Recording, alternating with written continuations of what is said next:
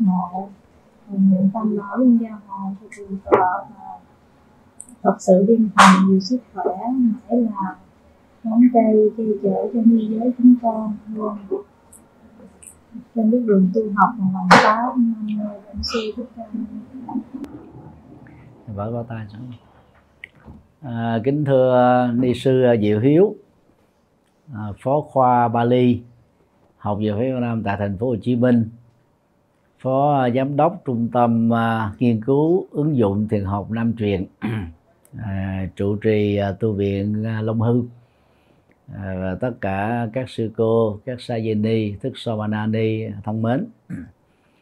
Thì thể theo truyền thống dân tộc Việt Nam đó thì những ngày trước Tết âm lịch phần lớn đó, con cháu về đoàn viên sum họp với à, cha mẹ, ông bà, người thân.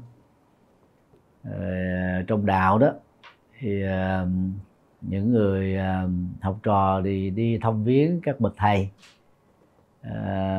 để thể hiện à, văn hóa à, tôn sư trọng đạo. Thì ni sư diệu hiếu từ lúc về từ nước Myanmar, Miến Điện đến giờ đó đã có những cái đóng góp rất là cao quý cho khoa Phật à, Bali của học viện Pháp Nam tại thành phố Hồ Chí Minh. À, với tư cách là một à, giảng viên dạy rất là à, có phương pháp à, sư phạm. À, nhờ đó thì à, các tăng ni sinh rất là ham thích học cái khoa này. Thì trong thời gian qua thì ni sư Dị Hiếu cũng phát tâm à, mở à, lớp à, Bali cho cộng đồng Phật tử. À, gần 1.000 người đăng ký là chưa có tiền lệ. Và có lẽ đó là cái lớp duy nhất, đông à, người đăng ký nhất. Thì à, mấy năm trước đại dịch covid 19 đó, thì chùa giác ngộ khi mà mở lớp tiếng hàn tiếng nhật đầu tiên đó, thì số lượng đăng ký khoảng 600 sau đó thì nó rụng dần dần đi con đường dài đó. Còn đối với cổ ngữ Bali là môn khó nuốt có trôi, nhưng mà nhờ phương pháp sư phạm à, lồng ghép những à, đoạn kinh mang tính triết lý của Đức Phật vào dạy, thì người học không có cảm giác nhàm chán. Và đây là cái điểm mạnh à, rất đáng được trân trọng. Sở trường của ni sư diệu hiếu đó là học thực tập và giảng dạy thiền vipassana. Thì trong lúc tiếp nhận chùa thường quan quận 12 thì các khóa tu thiền đã được tổ chức. Nhưng à, nhân duyên à, ở ngôi chùa này đó, chưa thật sự hội đủ. Thì cuối cùng à, giao trả lại cho người phát tâm mà chưa thật sự buông xả, chưa có thật sự quan hỷ với các phật sự. Thì gần đây thì gia đình giác thanh nhã phát tâm cúng đất để xây tu viện từ quan tu viện long hưng để xong được cái giải à, ni xá có cái chánh điện tạm. Thì tuần lễ vừa qua ni sư diệu hiếu đã mở à, khóa tu thiền vipassana lần đầu tiên tại long hưng. À, đánh giá chung á người tham dự rất là hoan hỷ. Thì đây là, phương pháp truyền thống của Đức Phật. Mặc dầu đây đó thì vẫn có người đưa ra lý thuyết là, là truyền thống vipassana đã bị đứt quãng mấy ngàn năm rồi được phục hưng. Thực ra không phải vậy vipassana đó là một trong ba hệ giá trị quan trọng à, được Đức Phật giảng dạy trong bát chánh đạo. À, hai hệ giá trị còn lại đó là tuệ giác và đạo đức. À, gọi tắt đó là tuệ giới và định. Mà Việt Nam thường đảo theo trật tự của Trung Hoa đó là giới định và tuệ. Vì vậy cái phần à, định á, thì đó là nói vắn tắt thôi. Chứ còn nói đủ thì nó phải có vipassana với samatha à, thiền quán để à, huấn luyện à, tuệ giác nhìn à, con người sự vật như thật và không có can thiệp ý thức chủ quan cảm xúc chủ quan thái độ chủ quan dán nhãn đặt tên lên mọi sự vật hiện tượng.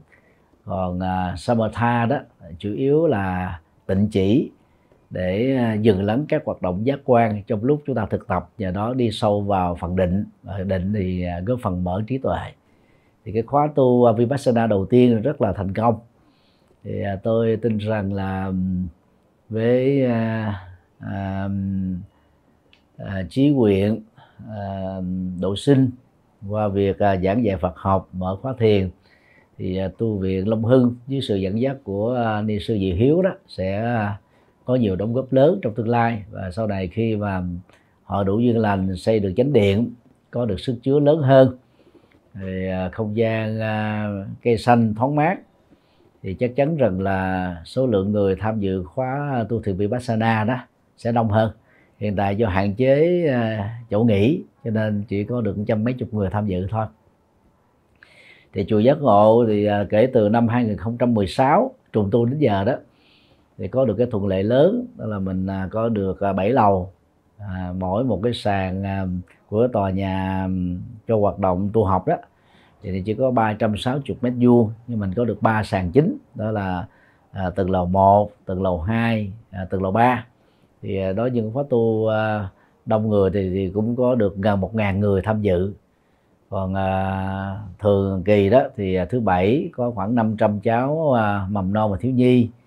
Rồi à, chiều chủ nhật á, thì cũng khoảng 500 600 à, sinh viên học sinh. Sáng chủ nhật thì à, số lượng tương tự dành cho người lớn rồi các ngày hành chánh từ thứ hai đến thứ bảy đó thì à, có 16 lớp ngoại ngữ à, bao gồm các loại ngôn ngữ như tiếng Anh, tiếng Trung, tiếng Nhật, tiếng Hàn, tiếng Khmer.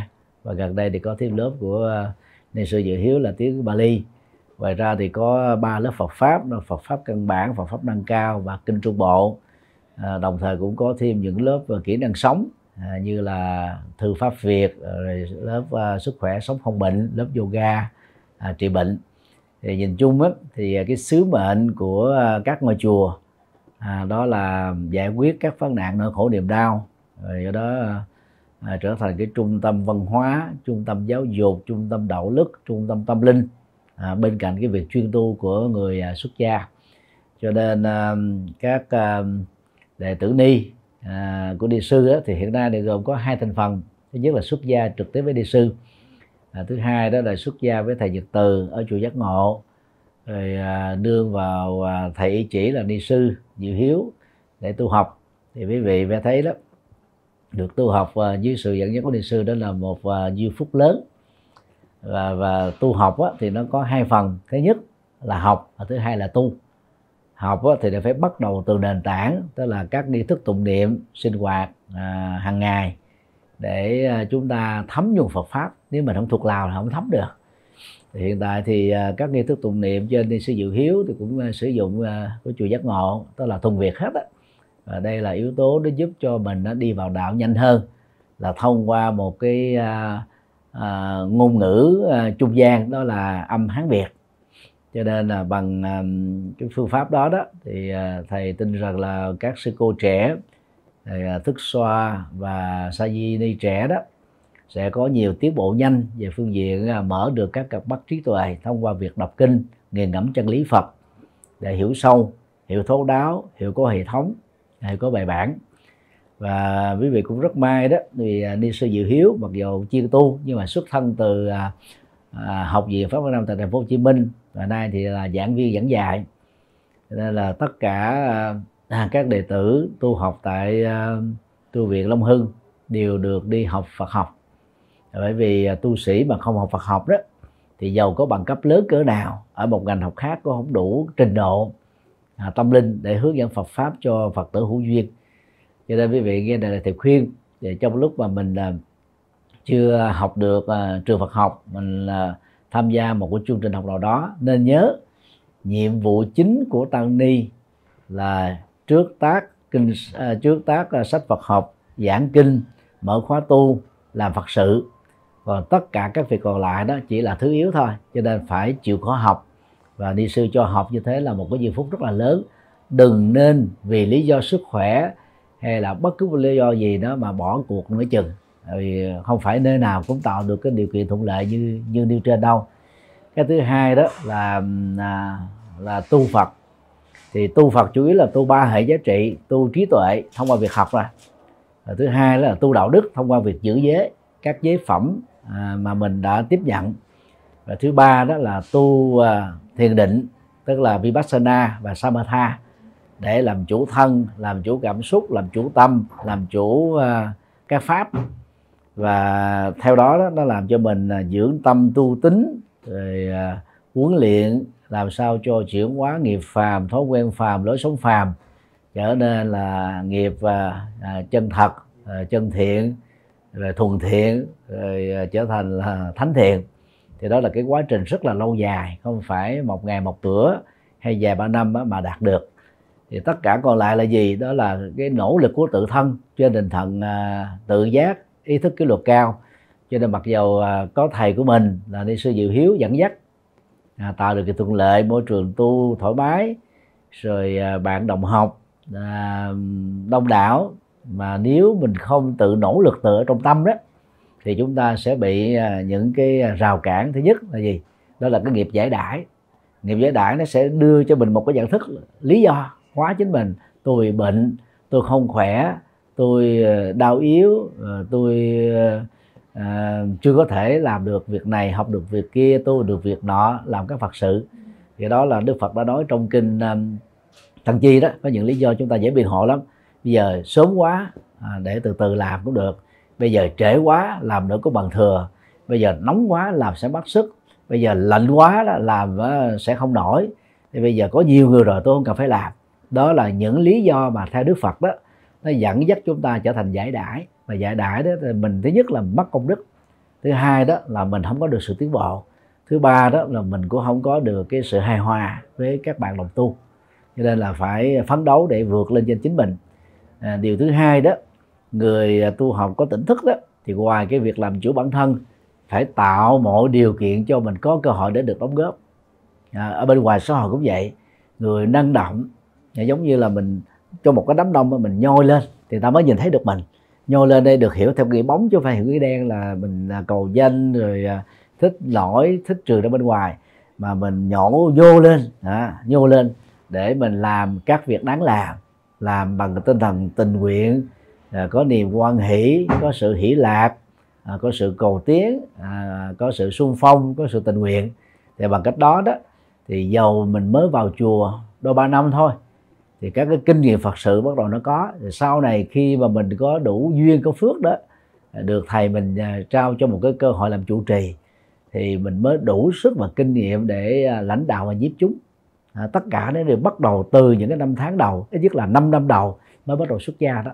Nếu mình không có tinh tấn không quyết liệt thì về sau này đó thì mình là trở thành một vị thầy hay là sư cô hình thức là chứ không có lệ lạc cho cho nhiều người. Cho nên à, điều cuối cùng đó giờ thì à, khuyên tất cả các sư cô trẻ thức Somalini rồi Sajani trẻ thì phải có lòng à, hiếu kính đối với thầy tổ. Rồi có lòng À, vâng lời à, lắng nghe dễ nghe dễ sửa để à, mình hòa nhập được với ni đoàn rồi mình hòa nhập với sự tu học hòa nhập với các phật sự rồi quan hỷ với những điều đó. Tâm và luôn luôn à, à, có được cái trạng thái hỷ lạc. À, thì cái việc mà tu của chúng ta nó không phải trở nên vô bổ. À, dù mình chưa có thể chứng thánh hay là trở thành các bậc hiền ngay trong một kiếp tu tập à, ít ra đó thì cái quá trình tu như những điều vừa nêu đó sẽ làm cho việc tu của chúng ta trở nên nó hữu ích và có giá trị. Và chính yếu tố này nó làm cho mình đó giữ được chính mình. À, khi có các nghịch cảnh rồi các cái cạm bẫy hay cám dỗ à, thu hút đi quanh mình à, kéo lui mình về nghiệp phàm lối sống phàm thì chúng ta dùng chánh niệm tỉnh thức để dừng mình lại à, để xây dựng chính mình và vươn lên thế phía trước thì nhân dịp à, xuân à, à quý mão à, còn 9 ngày nữa về. Thì à, thầy à, à, chúc tất cả à, à, các sư cô trẻ à, tu học tinh tấn dưới sự dẫn dắt của ni sư diệu hiếu để à, các khóa tu vipassana à, trong thời gian à, năm 2023 này trở đi đó à, mang lại nhiều thành quả à, an lạc hạnh phúc à, cho người tham dự. Và bằng cách đó đó thì à, góp phần lăn chuyển bánh xe chân lý đi vào đề một cách à, thiết thực và có giá trị. Nam mô à, quan hệ tạng bồ tát, chúc năm mới an lành, hanh thông và có sự tiến bộ trong học phật, tu phật và làm phật sự. Nam mô Bổn sư Thích Ca Mâu Ni Phật trên thượng tọa. Đã chỉ dạy những lời giáo huấn thật chân tình và rất là thấm thía chúng con nguyện sẽ thực hành theo. Tất cả đều đồng thanh, y giáo phụng hành. Chúng con xin y giáo phụng hành. Y giáo phụng hành. Y giáo phụng